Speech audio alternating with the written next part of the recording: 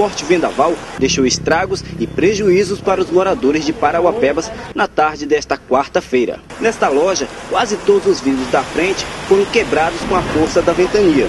Lama e sujeira foi o que restou nas ruas da cidade. Muitas casas tiveram seus telhados destruídos, como a do senhor Luiz Miguel, que teve sua residência atingida pela construção de um prédio que não aguentou o vendaval.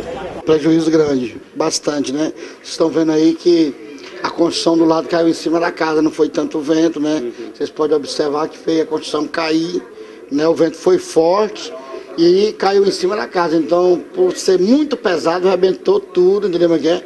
graças a Deus não teve problema, foi é, vítima fatal, né? Nem mesmo os postes de energia ficaram em pé. Fachadas de lojas foram arrancadas. O caso mais trágico foi o de Pedro Henrique de Freitas, de 19 anos, que na hora da chuva buscava abrigo em uma construção. O muro da obra não aguentou o vendaval e caiu sobre o jovem, que morreu soterrado. O corpo foi encaminhado para o IML de Marabá e depois seguirá para o estado do Ceará, onde reside a família.